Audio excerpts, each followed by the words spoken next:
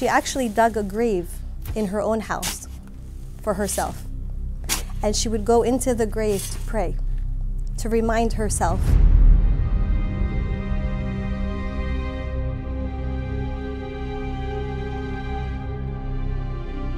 Assalamu alaikum everyone, welcome one and all. Today with us we have Sister Nadia Kahf. She is the chairwoman uh, of the Board of Trustees at ICPC, the Islamic Center Passaic County.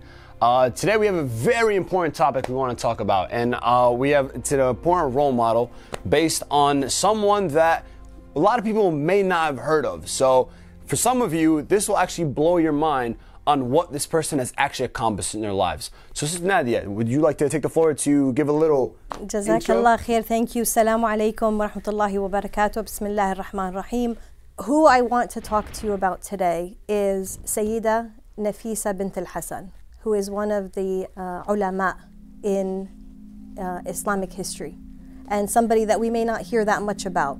Uh, she was born in Mecca in the 8th century. And when she was a little girl, she would go with her father to visit the shrine of the Prophet and she would stay with her father in the masjid. So she absorbed a lot of what was going on during that time period. And then when she was about five years old, they moved to Medina. So while she was in Medina, before she reached the age of puberty, she had memorized the Quran. Wow, mashallah. And she had uh, really attained a lot of Islamic knowledge. So from a very, very early age, knowledge was very important to her. Uh, at some point, when she got married, she moved to Egypt, where she spent the rest of her life. She moved with her husband to Egypt. She had two children. Gonna make me laugh. Start over now. I was getting, I was getting there. At some point, she had moved to Egypt with her husband. She had two children there.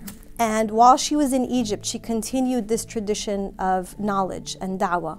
And she became known in the community as a seeker of knowledge and someone who taught the Muslim community. Wow. And people would seek her out to ask her opinion and to sit and listen to lectures that she would give in the masjid, at her home.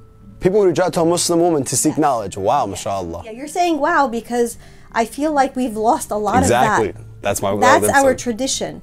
We have an absolutely revolutionary tradition that includes Muslim women at every point. Yeah. Uh, and this was uh, Sayyida Nafisa. And in fact, uh, Imam al-Shafi'i, who is one of uh, the uh, theological traditions is named after him. He established one of the uh, traditions theologically. Uh, everyone knows Imam al-Shafi'i. He was actually a student of Sayyida Nafisa. No way. He was. Oh and my God. When I found that out, I said, subhanAllah, how far we are from that tradition, that rich tradition that we have uh, in our history, where somebody of Imam Shafi'i's stature would sit literally at the feet of Sayyida Nafisa and listen to her. And she was genuinely one of the ulama. And it, it's amazing that we have that, uh, and, and we should learn about these kind of stories that we have in our, uh, in our tradition, in our uh, history, because it's something that's very rich and very powerful when you learn uh, stories wow. like that. It's, honestly, I think it's mind blowing how everyone knows Imam Shafi'i, and it's insane that this man that we derive all this knowledge from, we la- we don't we don't know who he got his knowledge from. Right. You know that what made him the man today was a woman. And you know, why a is Muslim that? Why why do you think that is? Because I think we're. I'm asking up. you a question now as the host. I'm asking you. I'm throwing it back at you. I think that uh, we we have to get out of the mindset of a patriarchal patriarchal society, right? We, especially in Islam, when you look at how the Prophet Muhammad revolutionized the role of women in Islam and allowed for, for women to be ulama and to be teachers and to fight in the battles with the Prophet. This is the rich history that we have. So it allowed somebody like Sayyida Nafisa to have that role in society that she has. It's yeah. insane how time changes. Yeah. how things move from the Prophet and how we, we need to go back to that. Exactly. That's what we should always strive for is to go back to that uh, that revolutionary period. 100%. Inshallah. So while we're on, so now that we understand a little bit about uh, Sister Nafisa, why don't you tell me what are some characteristics that really defined her, that like made her such a, like such an inspiration? So there's two things that really stood out to me. The first thing is her depth of knowledge, the knowledge that she had about Islam, about hadith, about fiqh, uh, about the Quran and her ability to not just keep that knowledge to herself, but to share that knowledge with the people that she uh, was living amongst. So that was something that uh, she valued knowledge very, very much. Okay. And that's something that stood out to me.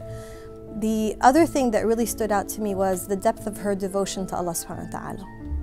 There's a story, a very, very interesting story that I read that she taught all these classes and you know she taught all of these uh, people and she held all of these gatherings at her home uh, and when she was near the last of her days when she felt that she had you know grown old she actually dug a grave in her own house for herself and she would go into the grave to pray to remind herself I got goosebumps. yeah, to remind it, it, would to remind herself of death, that death is imminent, no matter. And I think it was a way of her humbling herself because she had reached such a stature. Everyone knew her. She had all this knowledge, but she wanted to humble herself.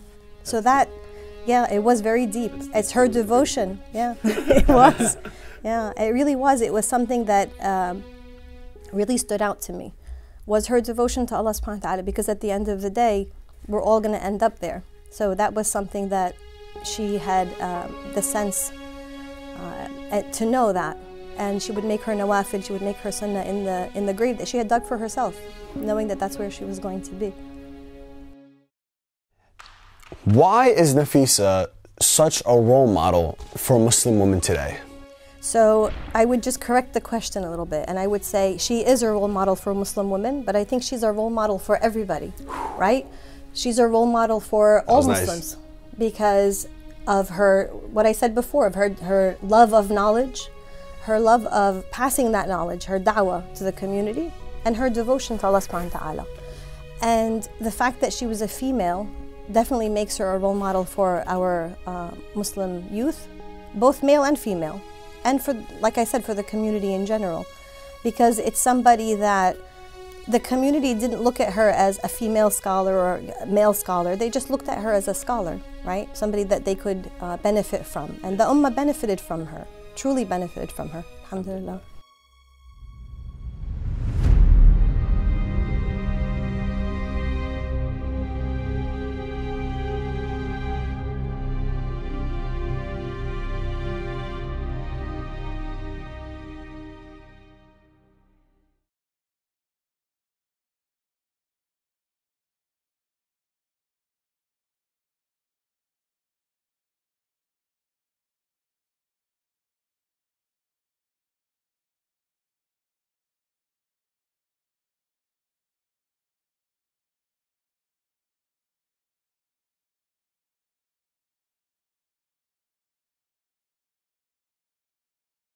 Truly benefited from her. Alhamdulillah. Sister Nadia, thank you so much. This, this has honestly been a, a huge eye opener for me. I'm sure it's been a huge eye opener for a lot of our audience today. Thank you so thank much. Thank you so much. For everyone watching, please remember that Sister Nadia just woke us up to realization that Muslim